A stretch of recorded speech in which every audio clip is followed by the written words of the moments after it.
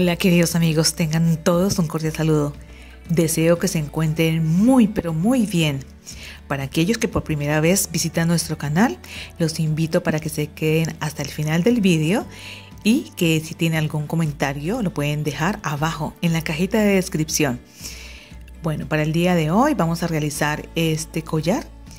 Está realizado en nudos muy sencillos mm, que ya veremos eh, en el transcurso del tutorial. Tiene materiales también muy fáciles. Recordemos que cada material los podemos reemplazar. Eh, quiero enviarles un saludo muy, pero muy especial a aquellos que cada tutorial me acompañan y que siempre están allí apoyándome. Bueno, vamos a ver entonces eh, los materiales.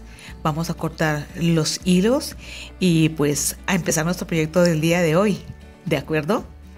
Así que vamos, tijeras e hilo.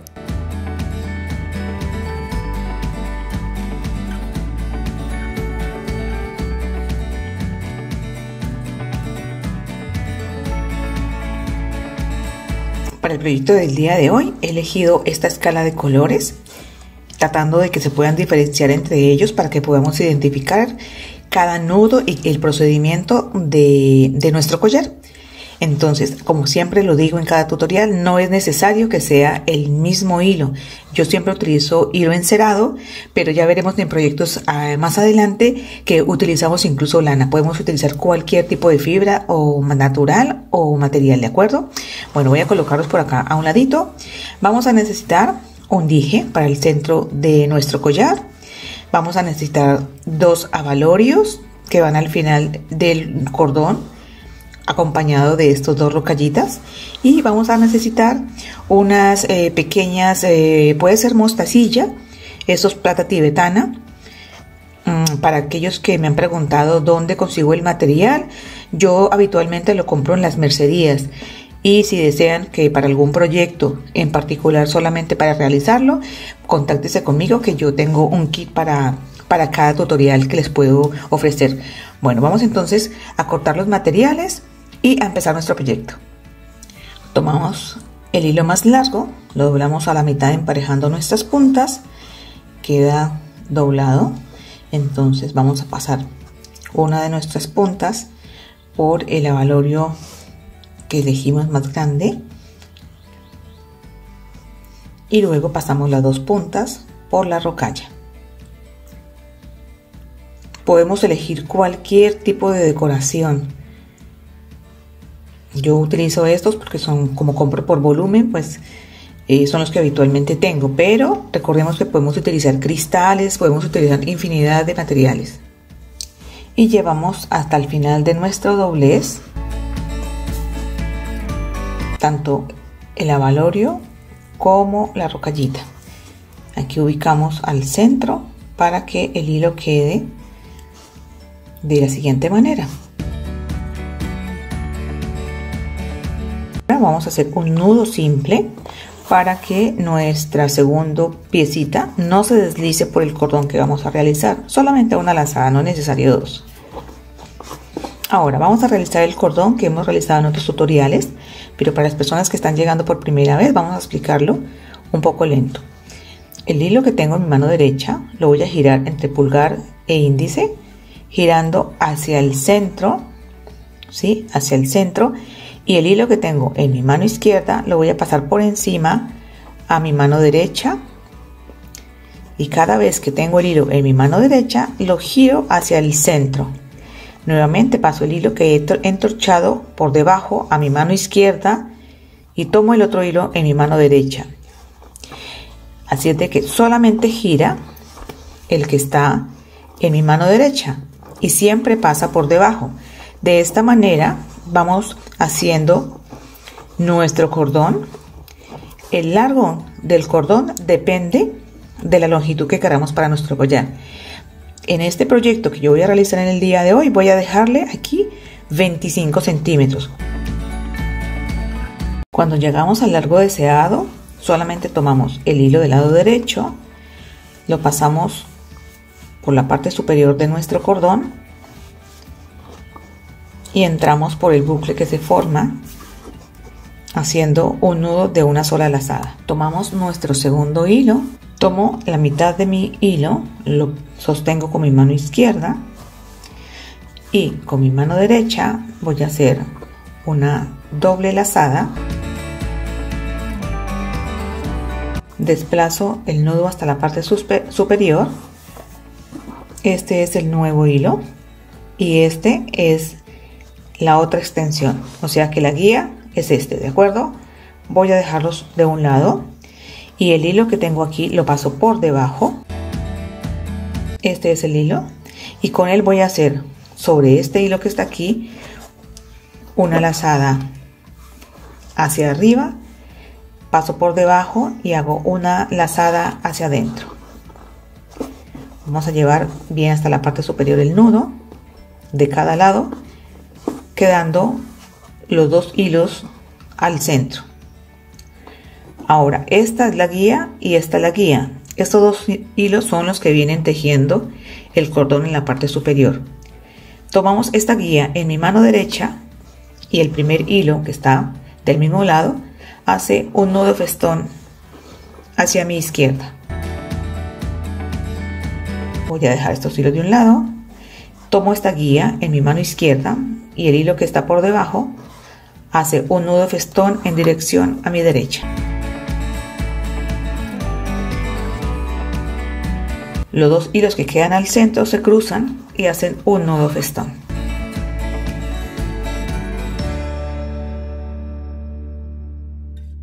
Tenemos nuevamente las dos guías al centro. Tomo mi guía en la mano izquierda y el hilo que está aquí lo paso por debajo.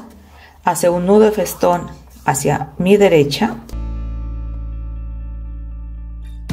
regresa por debajo, cambio la guía a mi mano derecha y hago un nudo festón hacia la izquierda.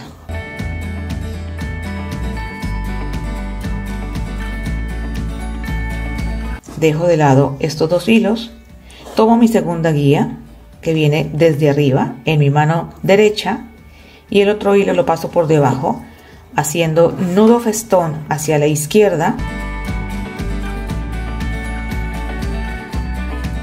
regresa por debajo y la guía la paso a, mi mano izquierda y hacemos nudo festón a la derecha. Nuevamente las dos guías quedan al centro, las cruzo y hacemos un nudo festón entre ellas. Vamos a repetir una vez más el procedimiento. Estas dos guías son las que vienen desde arriba en el cordón. Tomo la primera en mi mano izquierda, hago un nudo festón hacia mi derecha, regresa por debajo y hace nudo festón hacia mi izquierda. Dejo de nuevo estos dos hilos a un lado, tomo la segunda guía en mi mano derecha, por debajo tomo el otro hilo y hago nudo festón hacia mi izquierda, regresa por debajo, cambio la guía de mano y hago nudo festón a mi derecha. Tomo las dos guías al centro, las cruzo y hago nuevamente un nudo festón entre ellas. Este procedimiento lo vamos a repetir hasta el largo deseado.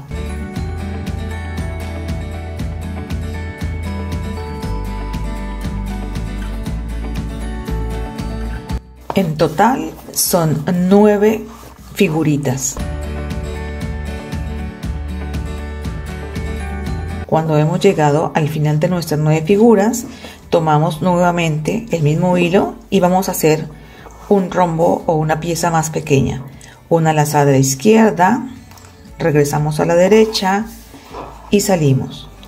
Tomamos nuestra segunda guía, en este caso el tercer hilo, hago por debajo una lazada a la izquierda y otra a la derecha.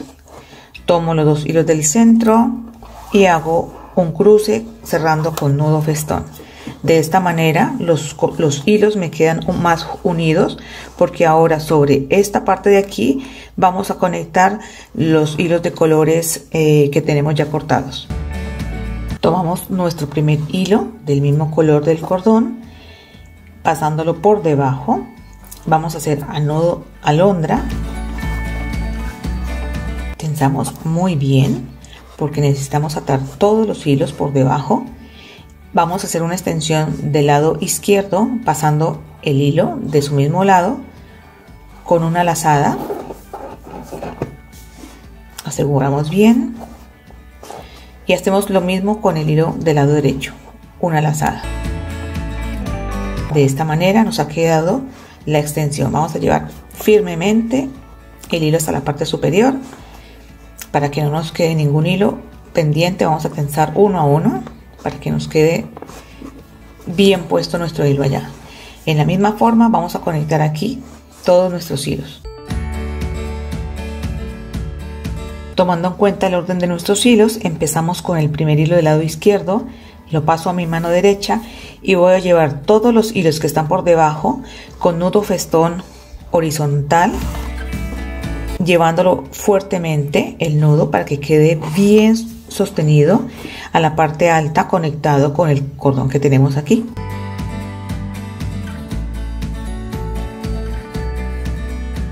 Este hilo lo vamos a dejar de un lado, no lo vamos a tejer. Ordenamos nuevamente nuestros hilos y traemos el primer hilo nuevamente a mi mano derecha y vamos a repetir el procedimiento con todos los hilos que están debajo con nudo festón horizontal.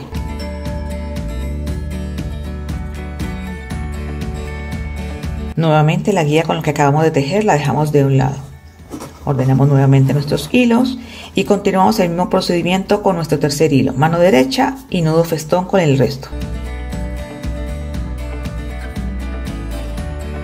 Nuevamente dejamos nuestra tercer guía de un lado, no la vamos a utilizar, ordenamos los hilos y continuamos con nuestro cuarto hilo.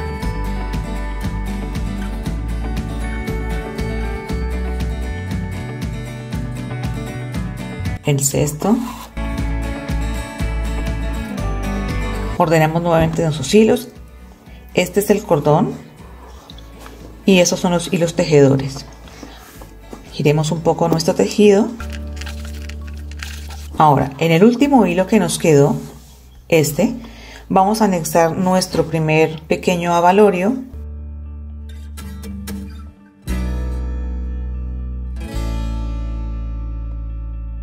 Lo llevamos hasta el final y con el mismo hilo vamos a regresar tejiendo. Vamos a apoyarnos con un alfiler más cerquita para poder girar. Sobre este hilo que va a ser nuestra guía ahora vamos a tejer los siguientes 7 hilos sin mezclar el cordón. Recordemos que el cordón está formado por cuatro hilos. Este no lo vamos a tocar.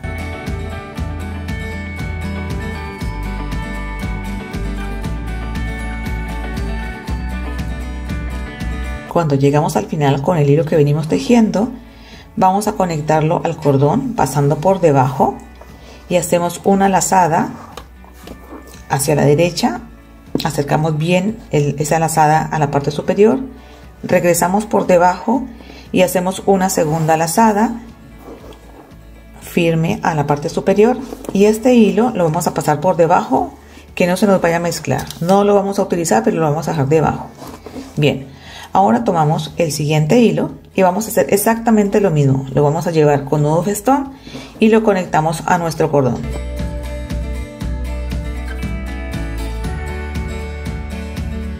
Nuevamente pasamos por debajo, hacemos una lazada hacia la derecha, subimos bien el hilo, regresamos por debajo y hacemos una segunda lazada para completar nuestro nudo. Nuevamente pasamos este hilo por debajo para que no se nos vaya a mezclar. Ahora bien, nuevamente tomamos el primer hilo que tenemos al lado izquierdo, lo llevo mano derecha y repito el procedimiento de las dos líneas anteriores.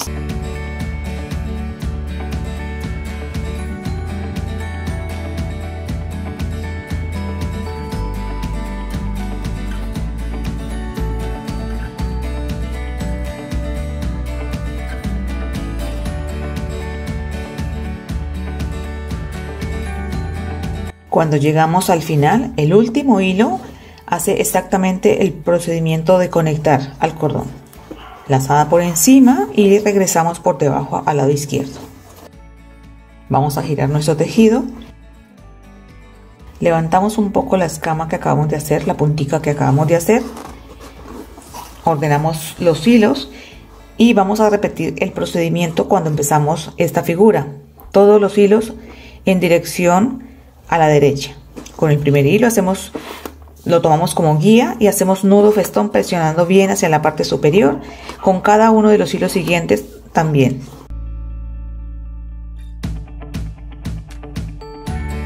Repetimos el procedimiento con cada uno de los hilos hasta agotar como lo hicimos en la primera parte.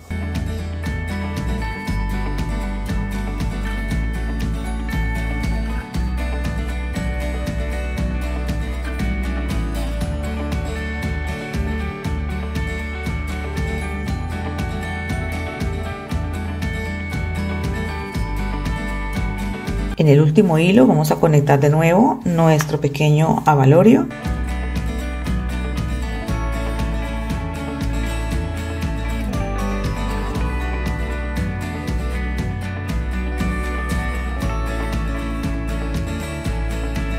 Nuevamente vamos a repetir todo el ciclo como lo hemos hecho en estas dos partes. Vamos a conectar nuevamente por debajo a trabajar y hacemos esta parte de nuevo.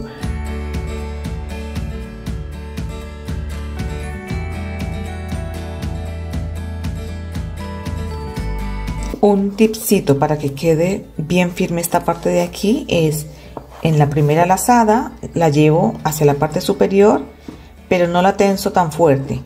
Luego cuando hago mi segunda lazada la llevo hasta la parte superior pero pasándola por debajo desde aquí es donde yo tenso. Allí es donde yo tenso y el nudo se desplaza uniéndose bien a los otros nudos que están en la parte superior. De esa manera va generando la curva perfectamente.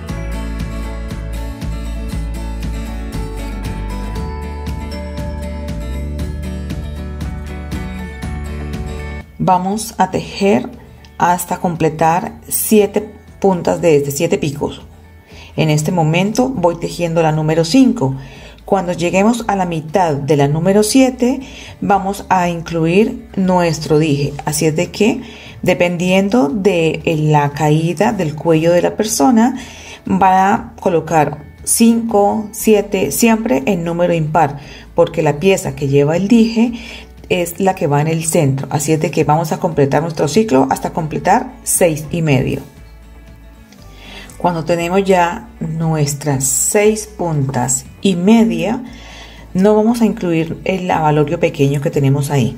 Vamos a colocar uno de nuestros avalorios más grandecitos. Pasamos por nuestro dije y regresamos por el mismo avalorio. Tensamos el hilo para llevar las dos piezas hasta el inicio, pero antes de llegar hasta la parte superior, dejamos un pequeño espacio entre el avalorio y el dije. Entonces voy a buscar el orificio y voy a, introducir mi alfiler de tal manera que quede ese espacio. ¿Para qué? Para que el dije quede, se pueda mover, para que el dije quede libre. Y ahora sí podemos continuar con nuestro tejido para terminar la figura como lo hemos venido haciendo durante todo el collar. Como estamos en la punta número 7, entonces ahora vamos a tejer adicionalmente a esta figura, vamos a tejer 6 más, de tal manera que la número 7 es el centro de nuestro collar. Aquí podemos ver entonces que nuestro eje ha quedado libre y hemos tenido entonces ya nuestra, la mitad de nuestro collar. Así que como este es la mitad, como lo dijo anteriormente, ahora vamos a repetir estas seis que tenemos aquí, las vamos a hacer en el otro costado para que nos quede nuestro collar completo. Bueno, aquí ya le estamos viendo la forma a nuestro collar. Antes de continuar con el, el cordón que hicimos al inicio, que nos falta en esta parte de aquí, vamos a cortar muy cerca como siempre dejando un milímetro y a cortar los hilos que están por debajo de nuestro collar. Precaución, cortamos el último nudo, el último hilo que hizo el último nudo, sellando así nuestro tejido y evitando que se nos vaya a soltar de pronto alguno de los nudos. Luego cortamos el resto de los hilos. Teniendo despejado entonces ya esta parte, vamos a sujetarnos con un alfiler y vamos a empezar exactamente como terminamos aquí el cordón. Recordemos, tomamos nuestros hilos más largos, que son la guía en este caso, y con ellos vamos a hacer un nudo festón. Y con los otros dos hilos empezamos por el lado izquierdo, hacemos una lazada al interior, pasamos por debajo y hacemos una, una lazada al exterior. Tomamos nuestra otra guía y el hilo que queda por debajo hace una lazada hacia el centro y una hacia el exterior. Con los dos hilos del medio vamos a hacer un nudo festón y ahora sí vamos a empezar a hacer los rombos más grandecitos. Tomamos el hilo por debajo y hacemos dos lazadas hacia el centro. Pasamos por debajo y hacemos dos lazadas, o sea, un nudo festón. Tomamos nuestra segunda guía, pasamos por debajo el hilo y hacemos un nudo festón hacia el centro. Regresamos por debajo y hacemos un nudo festón a la salida, o sea, hacia la derecha. Nuevamente con los dos hilos cruzamos y hacemos un nudo festón cerrando nuestro pequeño rombo. Esta figura que acabamos de hacer debemos hacerla de la misma distancia que hemos hecho este. Esto hicimos 9, así es de que vamos a completar los 9. Ya tenemos entonces nuestros 9 rombos. Vamos a dejar esto sin tejer y Vamos a empezar a hacer entonces nuestra trenza como lo hicimos acá, nuestro entorchado. Recordemos, con la mano derecha hacemos el espiral y pasamos por debajo. Exactamente como lo hicimos en el inicio. Lo vamos a hacer en la misma longitud y luego decoramos al final. Cuando llegamos al final deseado, tomamos uno de los dos hilos damos la lazada por encima de nuestro tejido y con el mismo hilo que hicimos la lazada vamos a agregar nuestro avalorio, nuestra rocallita, igual que como lo teníamos en el inicio. Pasamos nuestro segundo hilo. Y por último colocamos nuestro avalorio redondo, nuestro balín, piedra, lo que tengamos a disposición. Pasamos. Y para asegurar que no se nos vayan a salir hacemos un nudo simple no tenemos ningún problema porque al quemar queda firme y no se nos va a salir. Cortamos los dos hilos que nos quedaron en los extremos del cordón. Ahora solamente nos queda asegurar nuestros dos cordones. Los cruzamos entre sí y con un hilo del mismo color vamos a hacer un nudo simple firme pero que permita desplazar los cordones. Este es un broche que utilizo muchísimo cuando desconocemos la medida de la persona que finalmente va a utilizar el collar. Pero si lo conocemos podemos hacer un tejido diferente. En otro tutorial lo veremos. Algunas opciones de tal manera que no necesitemos hacer un cordón que se pueda deslizar, sino que quede un broche con, un cierre más eh, personalizado. Hacemos unos cuatro nudos planos más o menos. Verificamos que el cordón quede libre al desplazarse con un poco de presión para que no se suelte y cortamos y quemamos. Derretimos con la llama de nuestro encendedor un poco de cera para que pueda desplazarse más fácilmente y como siempre damos un pequeño baño de luz a nuestro proyecto para generar un poco de brillo y que la cera se derrita un poco. Espero que les haya gustado como siempre lo digo, porque es con todo mi amor que yo preparo estos tutoriales. Si tienen alguna sugerencia para mejorar este proyecto, por favor no, se, no duden en dejarme sus, sus sugerencias abajo en la cajita de descripción. A mí me gusta muchísimo realmente compartir mis conocimientos, pero también Me gusta muchísimo aprender. Como siempre lo digo, yo no lo sé todo, no es mi última palabra, yo sigo aprendiendo. Tengo muchísimos años de, conocimiento, de experiencia, pero todavía soy una novata. Solamente me resta darle las gracias a cada uno de ustedes por permanecer hasta el final del vídeo. Espero verlos en el próximo. Muchísimas gracias y hasta pronto. Adiós.